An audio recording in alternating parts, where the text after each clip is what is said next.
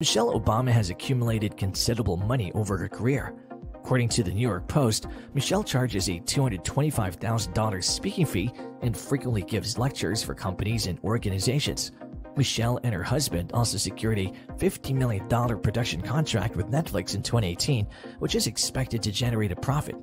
The former First Lady also made a fortune from her best selling memoir, Becoming, which was chosen as an Oprah's Book Club selection in 2018. Regrettably, this did not prevent others from latching onto the rumor. According to Reuters, the book garnered a more than $60 million advance, adding a modest income to the Obama's fortune. According to the publication, Michelle's memoir might become the best selling autobiography ever.